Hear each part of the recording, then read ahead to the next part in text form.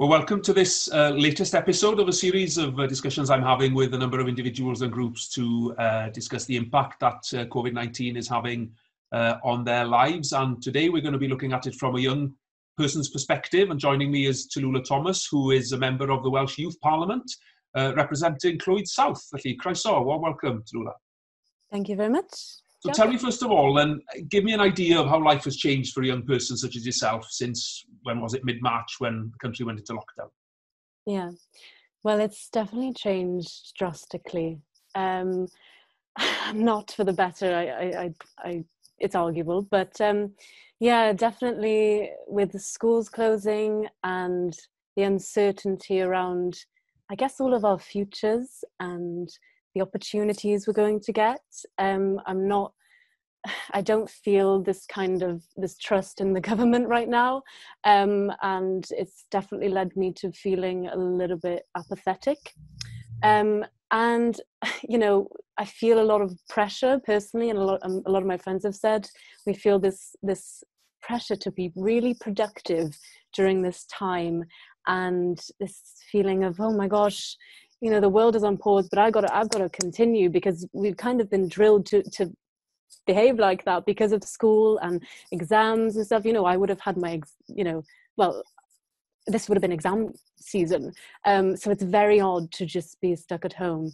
But um, i think one thing that i you know i like to think about and i try to remind myself is that you know there's there's no pressure and um, it's okay to just kind of exist um, on a plane of divine and just kind of just take it all in because it's it's so overwhelming and so it can be really really detrimental to your mental health and just overall well-being. It's something we've never experienced mm. as a society as in oh, our lifetimes. Absolutely. Um, not only young people but, but everyone really. You're right. It feels exactly. you press the pause button and uh, you're in animated suspension. It does. And it feels like we're kind of going I was talking about this with a friend. It feels like we're going towards some sort of weird new chapter in our lives, and it's very odd, and it feels kind of stagnant. But um, I'm I'm trying to look at it pos- positively and see all the change that can come in this new chapter. Hopefully. Well, if we can follow the script for the new chapter, of course, your intention is is to go to university later on this year. Uh, what are you hearing yeah. from there? Are they telling you that it's business as usual, or are they are they themselves saying that they're putting things on hold? Yes. So it was a bit annoying. I had to find out kind of what was going on through all these articles online um, to do with the uni, which wasn't really ideal because it made me very stressed and anxious because it was basically saying that all the lectures were going to be online and everything was going to be digital and online. Um, and that made me think oh my gosh am i going to be able to go? You know i'm itching to, to go off to university. I'm very much ready. Um, but finally they did get in touch with us directly. And you know i think it was just a it was just a matter of them covering their backs and just yeah um, being i guess honest on what could happen. Um, so i'm not too stressed about it now because whatever happens happens and i have a lot more time. I haven't even started yet. Um, but they've yeah it's it's a bit controversial but they have i guess that it's all online but i'm i'm hoping that as i guess government guidelines change and adapt um, they have said that they're going to adapt to that. So i think you know they're going to try and make it as normal as possible. And um, you know it's kind of it's kind of exciting maybe if you want to be super positive. It's like a, a completely new uni experience. Who knows what kind of alternative activities have an alternative whatever. Um it, it, you know i guess we just have to take it in our stride as students. Uh, and I suppose yeah. it's still wait and see, really, isn't it, to see where we are when we get to, to the autumn. But of course, one thing we do know is that the government has announced that schools will be reopening in Wales, at least in some form, uh, at the end of this month. I mean, what are your friends telling you about the prospect of, of actually going back to school? Yeah, a lot of young people are saying, what is the point? Um, there's not a lot of term time even left. Um, and a lot of people have said that, you know, doing things online is actually more beneficial and they're actually more receptive. They don't have as much distractions. I know that's not the case for everyone, but that's just one opinion. Um, but yeah, I think it's personally, I think it's way too soon, and I think, I mean, it's just it's putting a lot of pressure on on students, on teachers, especially on all the extra, uh, you know, funding for cleaners and the deep cleaning. And you know a lot of parents are ringing. My friend works at a school and they're all ringing asking what is happening. And because a lot of you know the government guidelines haven't actually been released to a lot of schools they can't be upfront and they can't actually tell them okay this is exactly what's happening. So it's just a lot of uncertainty and a lot of pressure for for teachers and students alike. So i just think it's way too soon personally Mm. And of course, the longer term prospects as well in terms of jobs and the economy. There's a there's a recession looming, which uh, clearly will have an effect, particularly on on young people maybe starting off on their careers. And I know Llangollen is is heavily dependent uh, on tourism as well, which is one of the most effective uh, affected, I should say, uh, sectors in the economy. What are young people telling you about you know how they feel about job prospects and, and maybe more immediate impacts in terms of seasonal work over the summer? Yeah, it's so weird seeing the streets so empty. You know, it would be a Steddfod week coming up. Mm. It would. It's usually absolutely crazy in Llangollen. Um, and myself, I have a you know weekend job in a restaurant. I was kind of relying on getting in those shifts to be to feel comfortable at uni financially. Um, but obviously that can't happen. So I, I do think it's it's it's going to hit us hard. But I'm just hoping that you know our community is very strong here and i'm hoping that everybody can kind of unite and just support the local small businesses and i know that there are a lot of people here who like to do that um, so i'm just yeah i can't really predict the future you know what's going to happen with the economy um, but we have to be real it's not good it's not looking good but yeah. and i'd endorse your comments about supporting local businesses as well because clearly we need to make sure that money remains within the local economy uh, as opposed to, to leaking out through maybe some of the big uh, supermarkets and others. But there we are. That's that's for another mm. day, maybe. Um, the other thing as well, of course, you, you, touched earlier on on mental health and the impacts you know that uh, young people maybe are going to feel in terms of, of, of, mental health. And as a member of the youth parliament here in Wales, of course, you've done quite a bit of work, haven't you, as a parliament on uh, mental health issues for young people. Tell us a little bit about that work. Yeah. Well, it's funny because we literally today just had a meeting on kind of what we want to see. Um, and so earlier this year, we launched a survey for young people to let us know how they're feeling, tell us what, and in, in their honest words, in their authentic words, what they think of the mental health system and mental health education in schools, especially, because I know that that was discussed um, to perhaps be in the new curriculum. I'm not sure if it did make it, but I'm hoping.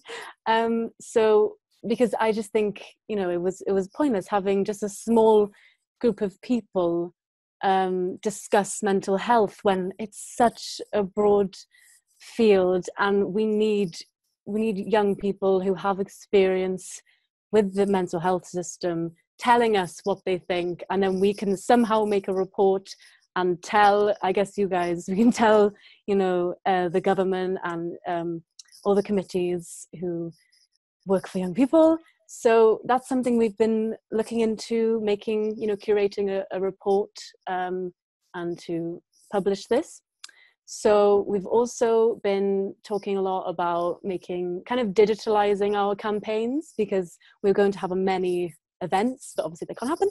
So we're digitalizing and we want to make a lot of workshops for young people with panelists discussing, uh, I guess, mental health, and especially during this time, you know, trying to combat everything that's going on, but making it in a really not fun, but yeah, kind of like fun way, you know, incorporating creativity in it, meditation, well being, I think that's a really you know integral part to maintaining your well-being, um, and it shouldn't be dismissed for just being hippy dippy. It's not. It's so so helpful when you actually look into these things, and it's it's been proven to be extremely helpful helpful for young people. Absolutely, absolutely, and of course you're nearing the end of your term as a member of, of the Youth Parliament. So uh, mm-hmm. Tell us a bit about, you know, how valuable experience it's been and maybe whether it's been quite a uh, frustrating one as well, maybe. Yeah, um, on the whole, it's been incredible. I've met so many different people from different backgrounds that I never would have encountered before this. Um, you know, I got to go to India for the Commonwealth Youth Parliament conference. I met so many people from around the world. And, you know, in terms of personal gain, it's definitely been incredible because I've adopted this new found confidence just within myself and this ability to just kind of talk to anyone, which is so beneficial beneficial beneficial as a young person. So i would definitely urge anyone who's interested in politics but i don't even want to call it politics it's just real life and things you care about. I hate that that's the umbrella term but um it's if you care about things definitely go for it. Um the only one you know judgment i would make that i don't know if this was a lack of i guess time to do it because it's only a, a two year term um, you know, there was definitely more focus on one committee, which was the life skills in the in the curriculum. But I totally understand that because it was a very current topic. You know, they needed feedback um, last year, so it was heavy. Yeah, it was very much prioritizing that, um, and not necessarily the others. But um, I'm hoping we're making up for it now that we have time. You know, I mean, even though it's over video cam or whatever um, we are making steps and um, we're still doing things so that's great yeah absolutely and of course there'll be another opportunity as well for people who do care about things uh, to cast their vote uh, in the assembly election in may next year of course because 16 and 17 year olds will be able to vote uh, for the first time um, are you hearing from your friends uh, an increased interest in sort of these issues and, and being sort of engaged politically because clearly in terms of devolution, I think it's fair to say mm. that there's greater awareness now following this uh, outbreak of, of COVID-19 that actually we have a Welsh government, that there are discrete Welsh ministers for health, education, uh, the economy, etc., compared to the UK ministers in, in London. Is that something you think that's actually cutting through in terms of young people in politics? I think definitely only this period of time it's actually become more visible um, but it's also been, become visible people's lack of understanding of devolution um, and actually what gets decided in Wales and what doesn't get decided in Westminster. Um, so I think it's definitely outlined this lack of education that we see in schools on devolution. I never had a lesson on it. Um, it, it really is kind of up to you as a young person to do your research, um, which is a shame, I guess, but also very beneficial. Um, so I think I have seen a surge in, you know, I think as people see real things happening in their in their local communities and they see not necessarily bad things but just anything that you know actually affects them directly that always kind of sparks something in a young person i think and it's a shame that it takes you know personal experience for you to engage with politics and with what's going on in the world but i feel like definitely with this period you know they've realized wow okay a lot is going on. I need to i need to understand it.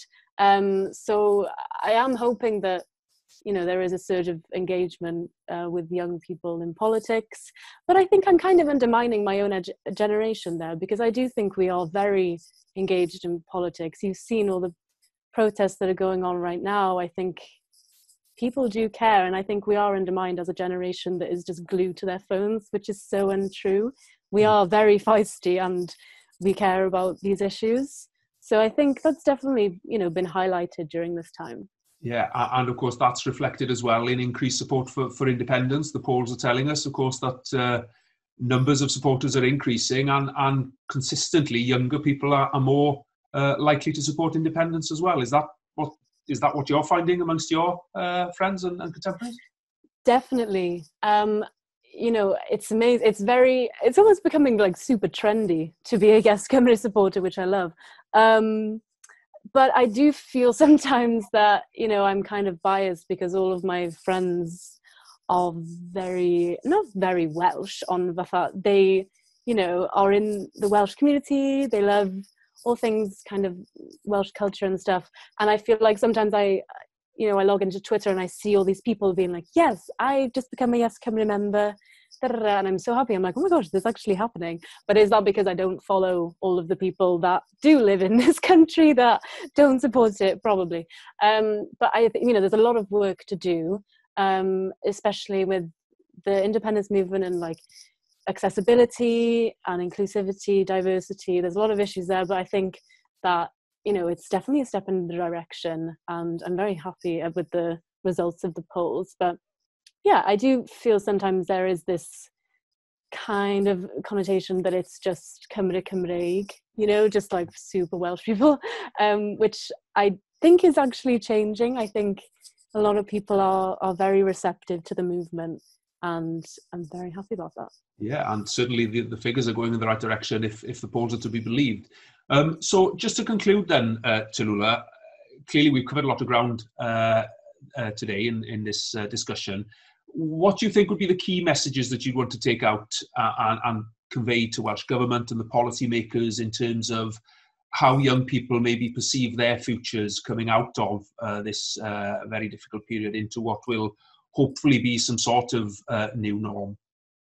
Yeah, um, I think I think as a, as a collective would like to be taken more seriously. Um, you know, our generation, and I think that that's been shown definitely through the Black Lives Matter protests that us as young people we care about these issues. So as I said before, that's one thing I'd like uh, the government to take out of it. And also, I would love to see the petition that has been put forward to the Senedd to be discussed and hopefully implemented in the curriculum, which is Black History, BAME, People of Colour history. So it's not whitewashed anymore because our curriculum, there are a lot, a lot of faults and instabilities with the curriculum here in Wales. Um, and I'm hoping that that's one change we'll see from this period of time, um, something positive. Um, and also, I guess I would just like, you know, I would love the government to just not be all about economic benefits. I understand that, of course, but I would love them to really convey somehow a message that they do care about the young people and they care about our futures because ultimately we are going to be the ones with these repercussions um, from this period of time. We are going to be paying for all of this that's gone on for the you know for the rest of our lives and our lifetimes. So i would love to feel a certain trust um, and and confidence in the government um, here in wales as well. But uh, yeah it's still you know i'm very i'm still excited about the future. I'm i'm not you know um, too down about it. Um, and i think yeah it, things are moving in the right direction, I'm hoping. Well, I'd agree with all the points that you made there in, in, in that final sort of uh, contribution. So, Talula, diolch yn fawr iawn. Thank you so much for joining me today. Diolch. diolch.